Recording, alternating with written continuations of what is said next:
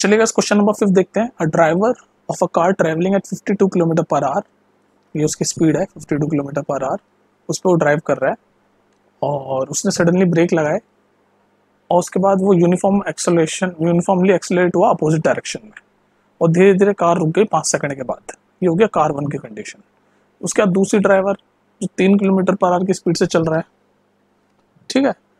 और उसने भी ब्रेक लगाए, उसने स्लोली लगाए ब्रेक तो गाड़ी रुकी दस सेकंड के बाद। तो बस हमें ग्राफ पेपर पे दोनों कारों का स्पीड टाइम ग्राफ बनाना है। और ये भी बताना है कि कौन सी कार ब्रेक के बाद ज़्यादा डिस्टेंस कवर पाई ट्रेवल्ड फार्दर। तो कंडीशन समझ आ गई। तो अब हम ग्राफ बनाएँगे, उसके बाद हम ये भी बताएँगे कौन सी कंडीशन ने ज़्यादा डिस्टेंस कवर किया। तो हम ग्राफ बना लेते हैं। हमें हमें कंडीशन अपनी सारी पता ही है। क्या क्या कंडीशन है?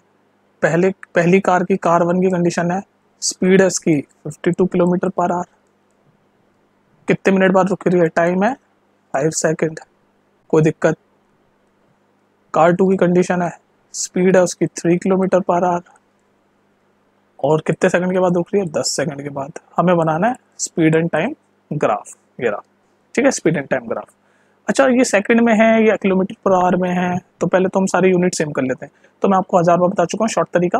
किलोमीटर पर आवर को मीटर पर सेकंड में करना हो तो उसको फाइव बाई एटीन से मल्टीप्लाई कर दो। तो फाइव बाई एटीन से आप इसको मल्टीप्लाई कर दो। जब आप मल्टीप्लाई करोगे, इसको सॉल्व करोगे तो आपकी स्पीड बन जाएगी फोर्टीन पॉइंट फोर फोर ये सॉल्व करने का काम तो आप कर ही लोगे। तो ये इसकी स्पीड हो गई fourteen point four four metre per second similarly इसको भी कर दो। थ्री को फाइव बाई एटीन से मीटर पर सेकेंड में कन्वर्ट करने के लिए। नाइन तो नाइन फाइव बाई नाइन कितना होता है? फाइव बाई नाइन आपको होता है zero point eight three metre per second तो हमने ये दोनों स्पीड है मीटर पर सेकेंड में कर दिया। अब हम ग्राफ बनाते हैं, ठीक है? नेक्स्ट पेज पे, आराम से। चलिए गाइस तो अब देख लीजिए आपके सामने। हमने निकाला था अभी previously speed one of car one की fourteen point four four time इतने सेकंड बाद रुक रही थी और दूसरी है। तो ग्राफ को प्लॉट करते हैं पहले ये वाला।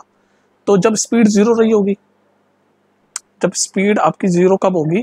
जब टाइम फाइव सेकंड हो गया होगा। तो जब ज़ीरो स्पीड रही होगी तो टाइम आपका फाइव सेकंड रहा होगा। तो पहला पॉइंट आपका यहाँ आ गया। ग्राफ बनाना तो आता है ना आपको? उसके बाद ये स्पीड जब आपकी, जब टाइम ज़ीरो रहा होगा तो स्पीड ये रही होगी। तो यानी दूसरा पॉइंट आपका फोर्टीन पॉइंट फोर फोर यहाँ होगा। तो इसका ग्राफ ये पिंक वाला ऐसे बनेगा। ऐसे ऐसे ऐसे ऐसे ऐसे ऐसे ये वाला। कार ए का। कार ए या कार फ़र्स्ट जो मर्ज़ी बोल लो। अब इस वाले का बनाते हैं। इसकी स्पीड है 0.82 और टाइम 10 सेकंड में जब जब स्पीड 0.82 रही होगी, यानी कि जब स्पीड यहाँ कहीं रही होगी, यहाँ कहीं तो टाइम रहा होगा ज़ीरो लेकिन जब स्पीड हो गई होगी ज़ीरो तो टाइम रहा होगा टेन तो ये तो देखो मैं बनाने में तो दिक्कत आ रही है, क्योंकि ये not a real graph obviously टेढ़ा मेढ़ा बन रहा है। लेकिन आप समझ गए होंगे कि ये ऐसे ऐसे ऐसे ऐसे पूरा टेन तक जाएगा। ठीक है, ये हो गया। तो ये हमारा हो गया ब्लू वाला कार टू का। जब ग्राफ बनाओगे तो अच्छे से बनेगा। बस, अब हमें पता चल गया, हमने ग्राफ बना लिया। दूसरा क्वेश्चन पूछ रहा था कि कितना ट्रेवल करेंगे? तो देखो विलोसिटी टाइम जब ग्राफ होता है ना तो उसके एरिया के, उसके ग्राफ के अंदर जो चीज़ होती है, वो हमें देती है डिस्प्लेसमेंट और स्पीड टाइम ग्राफ के अंदर की जो चीज़ होती है, वो हमें देती है डिस्टेंस तो बस, यही था ग्लिच तो अब डिस्टेंस हम यहाँ से निकाल लेंगे। पहले पिंक वाले का, ये वाला एरिया पूरा डिस्टेंस देगा हमें। ये पूरा। डिस्टेंस देगा जो मैं ग्रीन कर रहा हूँ। तो कार कार का डिस्टेंस निकाल लो। ये क्या ट्रायंगल सा बन रहा है? तो ट्रायंगल का एरिया क्या होता है? हाफ़ बेस कितना है? यहाँ से यहाँ तक, यानी पाँच इंटू हाइट हाइट कितनी है ये? फोर्टीन पॉइंट फोर फोर तो ये डिस्टेंस देगा car one similarly car two का डिस्टेंस कितना होगा बताओ? वही ये वाला एरिया ये जो मैं ऑरेंज कर रहा हूँ, ये ब्लू के अंदर जितना भी है। मतलब स्पीड टाइम ग्राफ में जो ग्राफ के अंदर की चीज़ होती है वो डिस्टेंस देती है और वेलोसिटी टाइम ग्राफ में डिस्प्लेसमेंट देती है। तो निकाल लो, इसमें भी ये भी एक ट्राइंगल से अगर आप ठीक से देखोगे, बनाओगे तो। तो डिस्टेंस जो हो जाएगा हाफ़ बेस कितना है इसका? यहाँ से आता है यानी टेन इंटू हाइट कितनी यहाँ से स्पीड क्या कितनी? Zero point eight three zero point eight three तो बस क्वेश्चन सॉल्व ग्राफ भी बन गया। दोनों का डिस्टेंस भी बता दिया। इसको सॉल्व कर लेना। ठीक है? तो ऐसे बनाते हैं ग्राफ इसमें समझने वाली बात ये थी कि जब वेलोसिटी और टाइम का हम जब ग्राफ बनाते हैं तो उसके अंडर जैसे इसके, ये ग्राफ के अंडर का एरिया क्या है?